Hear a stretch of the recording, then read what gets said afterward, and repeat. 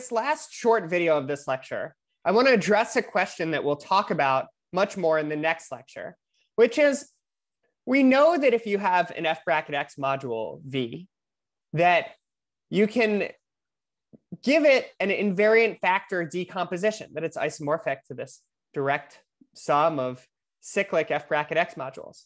But how do you actually compute this invariant factor decomposition of an f bracket x module V? So if you're given a vector space V and a linear transformation on that vector space, how do you compute this invariant factor decomposition? A related question is how do you compute the rational canonical form of an n by n matrix A with entries in F? We know that every n by n matrix A is similar to a unique matrix in rational canonical form. How do you find which one?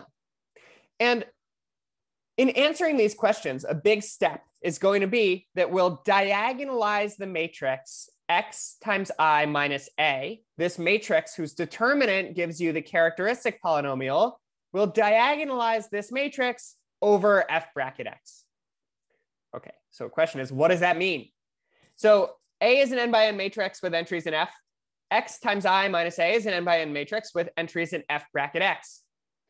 The elementary row and column operations come in three types. So this is something that you're probably familiar with from when you first learned linear algebra with entries in the real numbers. And this is the analog. Now we're dealing with a matrix with entries in f bracket x. So what are we allowed to do? We're allowed to interchange two rows or interchange two columns. We're allowed to add a multiple of one row or column to another. What does that mean, multiple? A multiple in f bracket x. So we could take like x times the first row and add it to the third row. Or we can multiply any row or column by a unit in f bracket x. So what is a unit in f bracket x is an element of uh, f star. So it's a polynomial of degree zero that's non-zero. And theorem 21 in section 12.2, this last result that we'll talk about, is that using these row and column operations, we can transform the matrix x times i minus a into the diagonal matrix, which is called the Smith normal form of A, that has some number of ones along the diagonal. Then it has uh, a1 of x, a2 of x, up to am of x, where these polynomials, a1 of x up through am of x, are in f bracket x. They're each monic polynomials of degree at least one, and they satisfy the divisibility relations. a1 divides a2, a2 divides a3, and so on.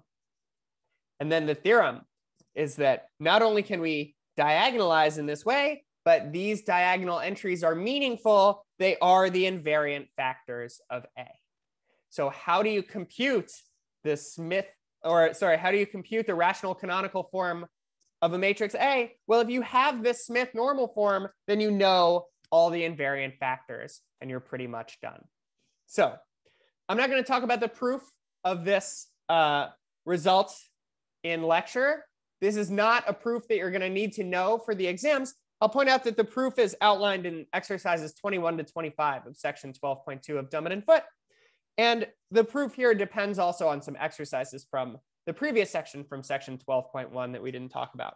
So you should see what goes into this, but this is a result that it's okay if you just learn what it says and then get comfortable using it.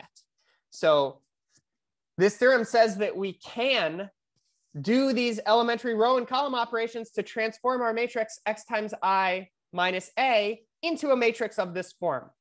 But it's not always so obvious how to do that. So in the next lecture, we'll get some practice and we'll actually compute the rational canonical form of some example matrices.